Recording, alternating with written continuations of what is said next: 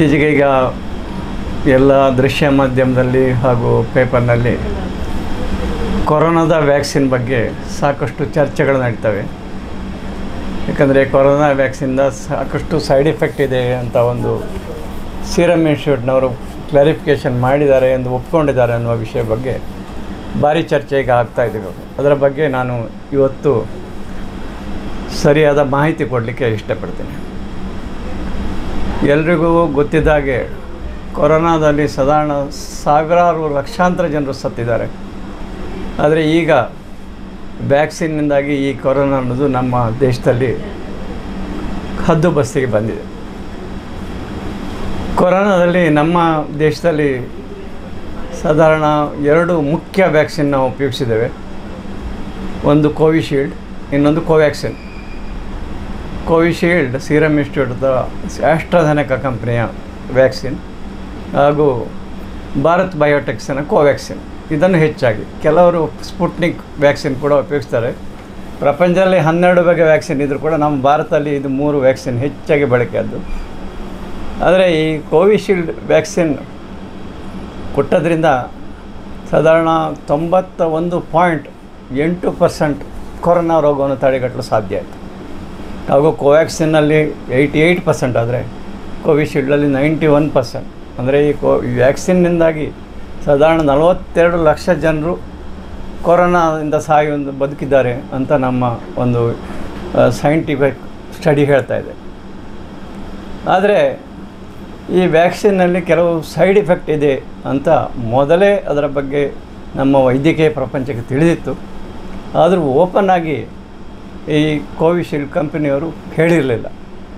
ಆದರೆ ಅವರು ನಮಗೆ ಕೊಟ್ಟ ಬ್ರೋಷರಲ್ಲಿ ಅದನ್ನು ಕೊಟ್ಟಿದ್ದರು ಇದು ಈ ವ್ಯಾಕ್ಸಿನ್ನಲ್ಲಿ ಬರುವ ಸೈಡ್ ಇಫೆಕ್ಟು ಒಂದು ನಮ್ಮ ರಕ್ತನಾಳದಲ್ಲಿ ಪ್ಲೇಟ್ನೆಟ್ ಈ ರಕ್ತದಲ್ಲಿ ಕಡಿಮೆ ಆಗುವುದು ಮತ್ತು ರಕ್ತ ಹೆಪ್ಪುಗಟ್ಟುವುದು.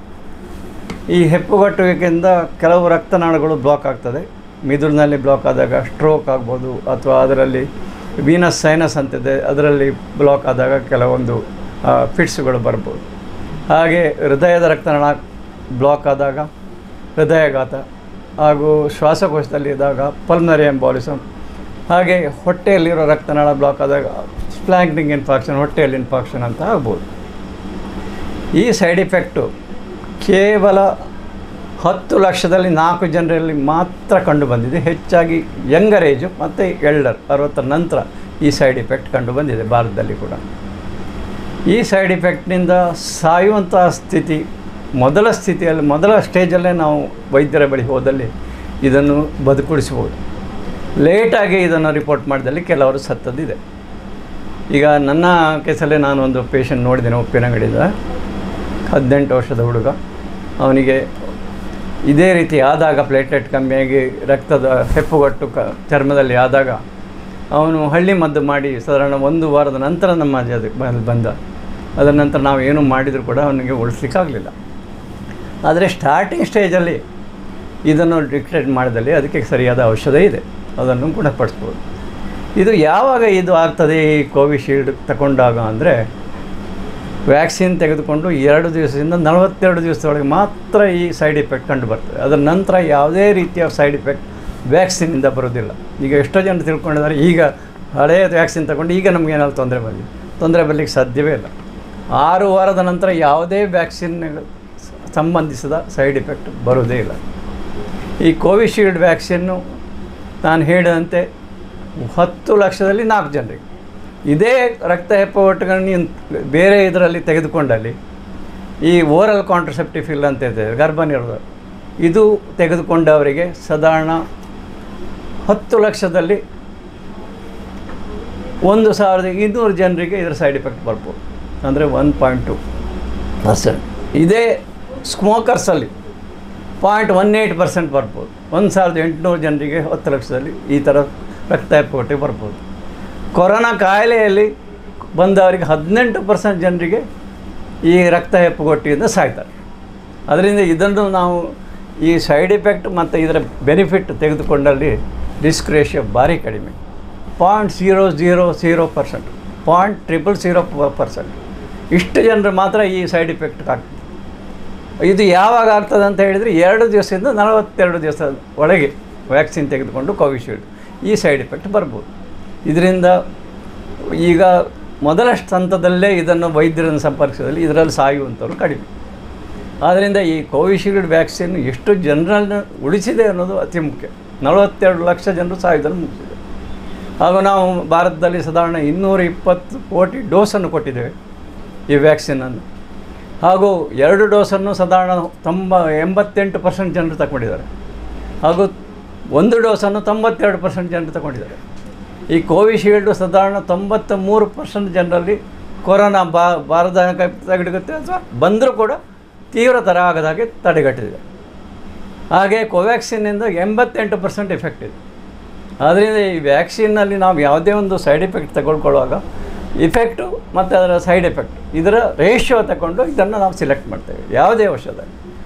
ಯಾವುದೇ ಔಷಧ ನಾವು ಆಲೋಪತಿ ಸಿಸ್ಟಮಲ್ಲಿ ಅದರ ಸೈಡ್ ಎಫೆಕ್ಟ್ ಅನ್ನೋದು ನಾವು ಮೆನ್ಷನ್ ಮಾಡಿರ್ತೇವೆ. ಈಗ ಫ ಉದಾಹರಣೆ ತಗೊಳ್ಳೋದಾದ್ರೆ ಪೆನ್ಸಿಲಿನ್. ಪೆನ್ಸಿಲಿನ್ ಕೆಲವರಿಗೆ ಫಸ್ಟ್ ಡೋಸಿಗೂ ರಿಯಾಕ್ಷನ್ ಆಗ್ಬೋದು. ಏಳೆಂಟು ಬಾರಿ ತಗೊಂಡ ನಂತರ ರಿಯಾಕ್ಷನ್ ಆಗಿ ಸಾಗುವಂಥ ಸಂದರ್ಭದಲ್ಲಿ. ಹಾಗೂ ಅತ್ಯಂತ ಸೇಫಾದ ಕೊರೋನಾದಲ್ಲಿ ಉಪಯೋಗಿಸಿದ ಪ್ಯಾರಾಸಿಟಮಾಲ್ ಮಾತ್ರೆಯಲ್ಲೂ ಕೂಡ ಕೆಲವು ಮಾರಣಾಂತಿಕ ಸೈಡ್ ಎಫೆಕ್ಟ್ ಆದದ್ದುಂಟು. ಈಗ ನಾವು ಹೇಳುವುದಿದ್ರೆ ಔಷಧದ ಯಾವುದೇ ಒಂದು ಔಷಧ ಇಫೆಕ್ಟ್ ಇರಬೇಕಾದ್ರೆ ಸೈಡ್ ಎಫೆಕ್ಟ್ ಸ್ವಲ್ಪ ಇದ್ದೇ ಇರ್ತದೆ. ಆದರೆ ಇಫೆಕ್ಟ್ ಮತ್ತು ಸೈಡ್ ಎಫೆಕ್ಟನ್ನು ರೇಷಿಯೋ ನೋಡಿಕೊಂಡು ನಾವು ಅದು ಉಪಯೋಗಿಸ್ಬೋದಾ ಇಲ್ವಾ ಅಂತ ನಾವು ನಿರ್ಧಾರ ಮಾಡ್ತೇವೆ. ಅದೇ ರೀತಿ ನಾವು ನೋಡೋದಾದರೆ ಯಾವುದೇ ಒಂದು ಡ್ರಗ್ಸ್ ಕೊಡ್ಕೊಂಡು ಸೈಡ್ ಎಫೆಕ್ಟ್ ಇದ್ದೇ ಇರ್ತದೆ. ಓನ್ಲಿ ಎಡ್ರಿನಾಲಿನ್ ಇಷ್ಟರವರೆಗೆ ನೋಡಿದರೆ ಎಡ್ರಿನಾಲ್ನಂಥ ಒಂದು ಡ್ರಗ್ ಮಾತ್ರ ಇಷ್ಟರವರೆಗೆ ಸೈಡ್ ಎಫೆಕ್ಟ್ ಕಾಣಲಿಲ್ಲ. ಈವನ್ ಸ್ಟೀರಾಯ್ಡ್ ಲೈಫ್ ಟೈಮ್ ಅದಕ್ಕೂ ಕೂಡ ಸೈಡ್ ಎಫೆಕ್ಟ್ ಆದವರು ಇದ್ದಾರೆ ರಿಯಾಕ್ಷನ್ ಆದವರು ಇದ್ದಾರೆ. ಅದರಿಂದ ಈ ಸೈಡ್ ಎಫೆಕ್ಟ್ ಅನ್ನೋದು ನಮ್ಮ ಯಾವುದೇ ಒಂದು ಔಷಧ ತಗೊಂಡ್ರೂ ಕೂಡ ಅದರಲ್ಲಿ ಇದ್ದೇ ಇರ್ತದೆ. ಅದನ್ನು ಸೈಂಟಿಫಿಕ್ಕಾಗಿ ಸ್ಟಡಿ ಮಾಡದೆ ಎಷ್ಟೋ ಜನರು ಅದರಲ್ಲಿ ಏನು ಸೈಡ್ ಎಫೆಕ್ಟ್ ಇಲ್ಲ ಅಂತ ಹೇಳೋರು ಎಷ್ಟೋ ಜನ ಇದ್ದಾರೆ. ಅದರ ವಿಷಯ ಬೇರೆ. ಅದು ಎಷ್ಟೋ ಜನ ನಾವು ಹೇಳಿದಾಗ ಕೆಲವು ಆಲ್ಟರ್ನೇಟಿವ್ ಮೆಡಿಸಿನ್ ಹೇಳ್ತಾರೆ ಸೈಡ್ ಎಫೆಕ್ಟ್ ಇಲ್ಲ. ಯಾಕಂದರೆ ಅವ್ರು ಸೈಂಟಿಫಿಕ್ ಸ್ಟಡಿ ಮಾಡಿರೋದೇ ಇಲ್ಲ. ಸೈಂಟಿಫಿಕ್ ಆಗಿ ಯಾವುದೇ ಒಂದು ವ್ಯಾಕ್ಸಿನ್ ತಯಾರಾಗಬೇಕಾದ್ರೆ ಅದನ್ನು ಮೊದಲ ಬಾರಿಗೆ ಅದನ್ನು, ಮೂರು ನಾಲ್ಕು ಹಂತದಲ್ಲಿ ಅದನ್ನು ಪರೀಕ್ಷಿಸಿ, ಮೊದಲು ಕೆಲವು ಎನಿಮಲ್ ಸ್ಟಡಿ ಮತ್ತು ಹ್ಯೂಮನ್ ಸ್ಟಡಿ ಅದನ್ನು ಮಾಡಿದ ನಂತರ ಸೇಫ್ ಅಂತ ನಂತರ ಮಾತ್ರ ವ್ಯಾಕ್ಸಿನ್ ಎಷ್ಟೋ ಜನರು ಆವತ್ತು ಕೊರೋನಾ ಟೈಮಲ್ಲಿ ಹೇಳಿದ್ರು ವ್ಯಾಕ್ಸಿನಿಗೆ ಲೇಟ್ ಆಯಿತು ಲೇಟ್ ಆಯಿತು. ಅಷ್ಟು ಬೇಗ ಒಂದೆರಡು ದಿವಸದಲ್ಲಿ ವ್ಯಾಕ್ಸಿನ್ ರಿಲೀಸ್ ಆಗೋದಿಲ್ಲ. ಅದಕ್ಕೆ ಆರು ತಿಂಗಳಾದರೂ ಮಿನಿಮಮ್ ಸ್ಟಡಿ ಬೇಕು, ಒಂದು ವ್ಯಾಕ್ಸಿನ್ ಇಫೆಕ್ಟಿವ್ ಮತ್ತು ಸೈಡ್ ಎಫೆಕ್ಟ್ ಇಲ್ಲ ಅಂತ ನಿರ್ಧಾರ ಮಾಡಬೇಕಾದ್ರೆ ಇದನ್ನು ಎಷ್ಟೋ ಜನರಿಗೆ ಇದರ ಬಗ್ಗೆ ನಾಲೆಜ್ ಇಲ್ಲ. ಹಾಗೆ ಕೋವಿಶೀಲ್ಡ್ ಅನ್ನೋದು ಹೆಚ್ಚಾಗಿ ಇಂಗ್ಲೆಂಡ್ನಲ್ಲಿ ಫಸ್ಟು ಅದು ತಯಾರಾಗಿ ಇದಾಗಿತ್ತು ಸೈಡ್ ಎಫೆಕ್ಟ್ ಗೊತ್ತಾಯಿತು, ಜರ್ಮನಿಯಲ್ಲಿ ಗೊತ್ತಾಯಿತು, ಯುರೋಪಿಯನ್ ಕಂಟ್ರಿಗಳು ಅದರ ಬಗ್ಗೆ ಎಚ್ಚರಿಕೆ ಕೊಟ್ಟರು ಆದರೆ ಭಾರತದಲ್ಲಿ ಇದರ ಸಂಖ್ಯೆ ತೀರಾ ಕಡಿಮೆ. ಆದ ಈ ಸೈಡ್ ಎಫೆಕ್ಟ್ ಆದ ಕಾರಣ. ಆಗಲಿಲ್ಲ ಅಂತಲ್ಲ, ಭಾರಿ ಕಡಿಮೆ. ನಾನು ಹೇಳಿದಾಗೆ point zero zero four percent ಜನರಲ್ಲಿ ಮಾತ್ರ ಈ ಸೈಡ್ ಎಫೆಕ್ಟ್ ಕಂಡು ಬಂದಿದೆ.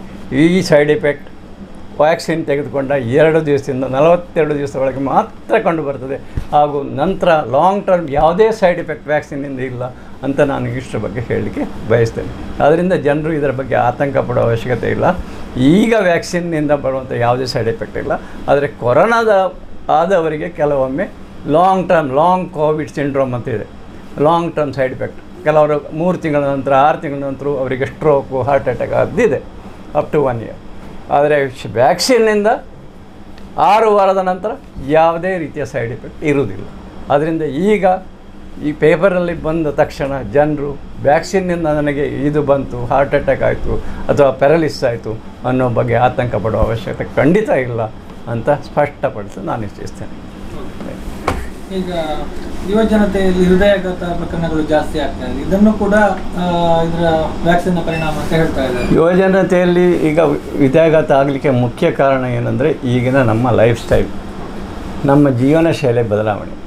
ಈಗ ನಮ್ಮ ಭಾರತದಲ್ಲಿ ತಗೊಂಡ್ರೆ ಸಾಧಾರಣ ಹತ್ತು ವರ್ಷ ಮೊದಲೇ ಬೇರೆ ದೇಶಕ್ಕೆ ಕಂಪೇರ್ ಮಾಡಿದರೆ ಹಾರ್ಟ್ ಅಟ್ಯಾಕ್ ಆಗ್ತದೆ. ಯಾಕಂದರೆ ನಮ್ಮಲ್ಲಿರೋ ಅತಿಯಾದ ಬೊಜ್ಜು ವೆಸ್ಟರ್ನ್ ಶೈಲ ಫುಡ್ಡು ಇದೆಲ್ಲ ಅದರಿಂದ ಹಾಗೂ ಸೀಮಿತ ರೋಗ ಯಂಗ್ ಏಜಲ್ಲೇ ಸ್ಟಾರ್ಟ್ ಆಗೋದು ಹಾಗೂ ಸ್ಮೋಕಿಂಗ್ ಈ ಕಾರಣದಿಂದ ಈ ಲೈಫ್ ಸ್ಟೈಲಿಂದಾಗಿ ನಮ್ಮ ಆ, ಹೃದಯಾಘಾತಗಳು ಮತ್ತು ಸ್ಟ್ರೋಕ್ಗಳು ಯಂಗರ್ ಏಜಲ್ಲಿ ಬರ್ತದೆ ಹೊರತು ಬೇರೆ ಯಾವುದೇ ಕಾರಣದಿಂದಲೇ. ಇದಕ್ಕೆ ಈ ಕೊರೋನಾ ಬಂದ ಸ್ವಲ್ಪ ಸಮಯದಲ್ಲಿ ಕೆಲವು ಕ್ಲಾಟ್ ರಿಲೇಟೆಡ್ ಇದು ಕೊರೋನಾ ಕಾಯಿಲೆಯಿಂದ ಒಂದು ನಾನು ಹೇಳಿದಾಗ ಹದಿನೆಂಟು ಪರ್ಸೆಂಟ್ ಜನರಲ್ಲಿ ಕ್ಲಾಟ್ ಆಗ್ಬೋದು. ಅದರಲ್ಲಿ ಬಂದಿರ್ಬೋದು. ಕೊರೋನಾ ಬಂದ ನಂತರ ನಾವು ಮೂರು, ನಾಲ್ಕು ತಿಂಗಳು ಹೆಚ್ಚು ಪ್ಯಾರಾಲಿಸಿಸು ಹಾರ್ಟ್ ಅಟ್ಯಾಕನ್ನು ನೋಡಿದ್ದೇವೆ. ಆದರೆ ಅದು ಕೊರೋನಾದ್ರಿಂದ ಬಂದಿದ್ದ ಹೊರತು ಕೊರೋನಾ ವ್ಯಾಕ್ಸಿನ್ನಿಂದ ಅಲ್ಲ ವ್ಯಾಕ್ಸಿನಿಂದ ಬರುವ ಯಾವುದೇ ರಕ್ತ ಹೆಪ್ಪುಗಟ್ಟು ವ್ಯಾಕ್ಸಿನ್ ತೆಗೆದುಕೊಂಡು ಎರಡು ದಿವಸದಿಂದ ನಲವತ್ತೆರಡು ದಿವಸದವರೆಗೆ ಮಾತ್ರ ಕಂಡು ಬರ್ತದೆ. ಅದರ ನಂತರ ಯಾವುದೇ ವ್ಯಾಕ್ಸಿನ್ನ ಅಡ್ಡ ಪರಿಣಾಮ ಕಂಡು ಬರುವುದಿಲ್ಲ ಅಂತ ಹೇಳಲಿಕ್ಕೆ ನಾನು ಅತ್ತೆ ಇದು ನನ್ನ ಬರ್ಡೇ ಗಿಫ್ಟ್ ಇದೆಲ್ಲ ಜೀವನದಲ್ಲಿ ನನಗೋಸ್ಕರ ತಗೊಂಡ್ಬಂದಿದ್ದಾರೆ. ನಿನ್ ಮೇಲೆ ತುಂಬಾ ಚೆನ್ನಾಗಿ ಕಾಣುತ್ತೆ. ಇದು ತುಂಬಾ ಚೆನ್ನಾಗಿದೆ ಅಲ್ವಾ? ತುಂಬಾ ಚೆನ್ನಾಗಿದೆ.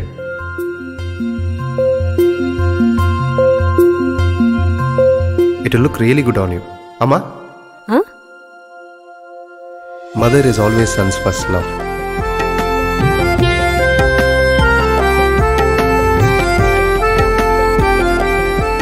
ಪ್ರತಿ ಪೀಳಿಗೆಯ ಪ್ರೀತಿಯ ಮಳಿಗೆ. ಜಿಎಲ್ ಆಚಾರ್ಯ ಜುವೆಲ್ಲರ್ಸ್ ಸುದ್ದಿ ಚಾನಲ್. ಕ್ಷಣ ಕ್ಷಣದ ಸುದ್ದಿಗಾಗಿ.